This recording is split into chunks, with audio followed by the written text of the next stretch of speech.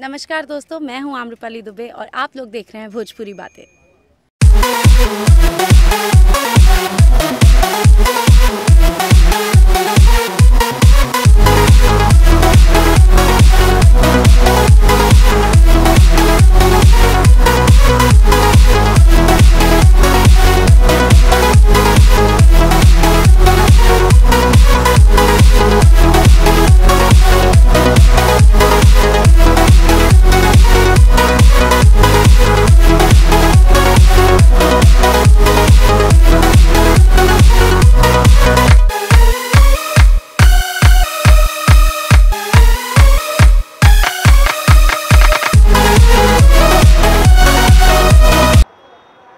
खुशी हुई है अच्छा इसलिए लग रहा है कि आप मेरा पहला काम है और लगी है तो बहुत खुशी हो रही है।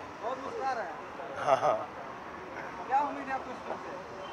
उम्मीद तो सबको होती है मुझे भी उम्मीद है कि फ़िल्म अच्छा करे लोगों को पसंद आए। इस फ़िल्म में? यश है अंजना है प्रीति सिंह है उदारी बाबू है वर्षा तिवारी है अमित शुक्ला हैं अनु परोरा जी हैं राधे मिश्रा हैं।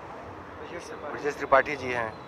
यहाँ रिएक्शन मिला है पोस्टर देखने के बाद लोग बोलते हैं धार्मिक फ़िल्म है। किस तरह की फ़िल्म है? बताएँ अब टाइटल की वजह से शायद लोगों को लग रहा होगा बट धार्मिक भी है लेकिन ये बाप और बेटे की रिलेशनशिप की कहानी है। बहुत ही अच्छी फ़िल्म है। अब कह तो नहीं सकते कौन क्या सोचता है क्या नहीं सोचता बट धार्मिक जैसा नहीं है। छठ मैया और बाप बेटे की रिलेशन अंडरकरेंट तीनों चीज़ें हैं। मैं इतना ही कहूँगा आप सबको नमस्कार। ये फ़िल्म ज़रूर देखिए। आपसे निवेदन है कि अच्छी फ़िल्म बनाई हमने। कोशिश की है। आप लोग देखिए ताकि हमारा हौसला और बढ़े ताकि जब भी आगे कुछ करें तो इससे बेटर करें। बड़ा स्मार्ट लग रहा है थैंक यू पैदा ही स्मार्ट हुए थे। आज नौरंग सिनेमा में खड़े हैं आपकी फ़िल्म लगी है कुछ बताना चाहेंगे दर्शकों को? बस कहना यही चाहूँगा कि जब एक सार्थक फ़िल्म लगती है एक अच्छी फ़िल्म लगती है तो उसको लोगों को देखना चाहिए। और एक अलग हट करके हमने फ़िल्म बनाने की कोशिश की। एक बाप और बेटी की फ़िल्म है ये। मेरा पूरा दावा है मेरा पूरा विश्वास है कि भोजपुरी सिनेमा में आज तक इस तरीके की फ़िल्म किसी ने बनाने की हिम्मत नहीं की है। हमने बनाई है उम्मीद करता हूँ कि दर्शकों को बहुत पसंद आएगी ये फ़िल्म। में है? अंजना सिंह जी हैं प्रीति सिंह जी हैं और उधारी बाबू हैं ब्रजेश त्रिपाठी जी हैं अनूप अरोरा जी हैं अमित शुक्ला जी हैं वर्षा तिवारी जी हैं श्यामरेश श्रीवास्तव जी काफ़ी स्टार कास्ट बढ़िया है और फ़िल्म बहुत खूबसूरत बनी हुई है।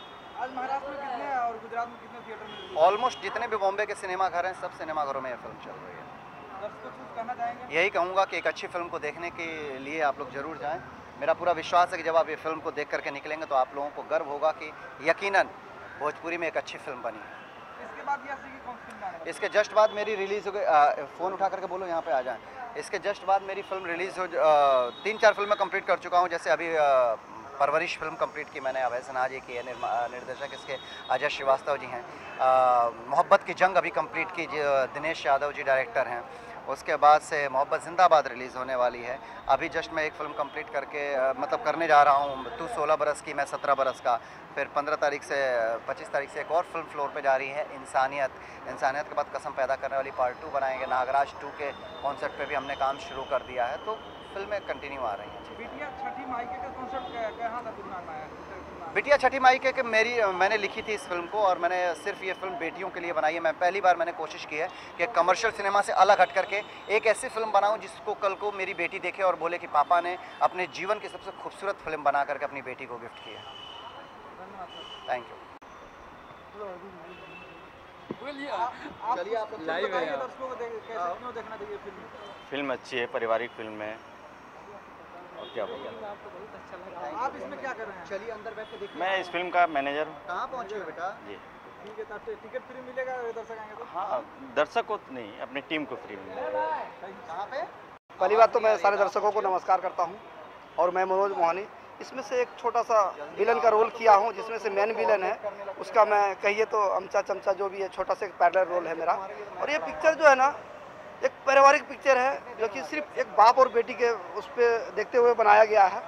बहुत ही अच्छा पिक्चर है। और कसम से मैं जब इस पिक्चर को देखा तो मेरे अंदर से आँसू आ गया।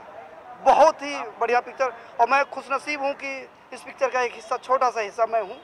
मुझे बहुत ही गर्व है। हमेशा पर्दे में मार खाते रहते हैं। कभी हीरो बनने का सपना नहीं आता सर सकल ही मेरा मार खाने वाला है। एक्चुअली ऊपर वाले ने जो शकल बनाया है ना बिल्कुल भी नेगलेक्ट ये बिल्कुल नेगेटिव फेस है मेरा तो मुझे मार खाने में अच्छा लगता है। मैनेजर संपर्क करिए हीरो बनाया जाते है। नहीं सर मुझे हीरो बनना नहीं है बस आप मुझे विलन में देखते रहिए। Thank you so much Press the bell icon on the YouTube app and never miss another update.